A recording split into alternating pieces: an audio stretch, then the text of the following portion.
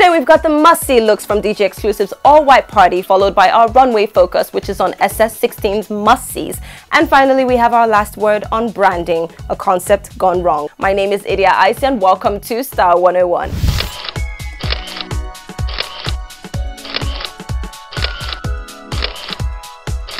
So guys, next up we have blanket bags at Balenciaga. What do you guys think? Starting Can with you, Ini. Um, I would say yes. Now, Why? How- I'm not going to be going around the streets with this bag. One, I think I like it because I know a little bit about the history. Okay. So I like it. There's a reference. Um, the designer used to be a refugee and he's Okay. an immigrant. So it's just very cute. Do you remember this? This literally, they look like those Chinese bags. No, I know what you're talking about. So I think it's cute. I wouldn't wear this. I wouldn't. I mean, it's not that practical, but it would be like a nice travel bag. You just voted no to mismatched shoes. Please, that was nonsense. This is good. Tayo, what do you vote? Um, no, not everything everyone does because his name is Balenciaga or because it's Versace or whatever. Yeah. You have to vote yes. N O. No, two simple letters. Are you checking in? That's what I said. What's going but on? Like, what's be going nice on? travel like, bag. Nah, nah, nah. It's a bit too much. Like, by the time, if, if it's meant to be carried by a woman, phone, makeup, uh, there's still too much space. Okay. Come No, on. Forget it, forget it. No. Karen.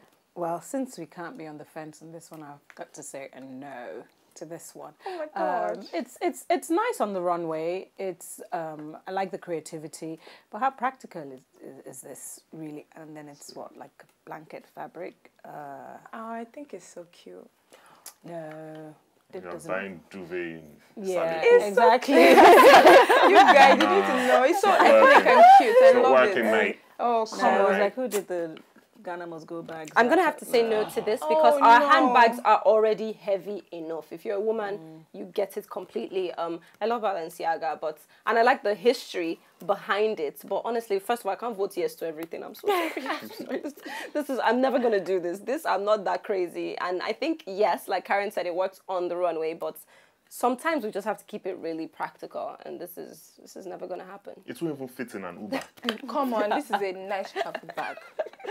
you look this. You be the flyers in the airport. like, what? Long. Thank you guys so much for such an interesting discussion. As you guys back home have heard from our guests, branding is about your image, it's about positioning, but also it's a positive thing. It's not something to be condescending about. And the most important part of branding is your delivery. Thank you guys at home for watching. We'll see you next week on Style 101.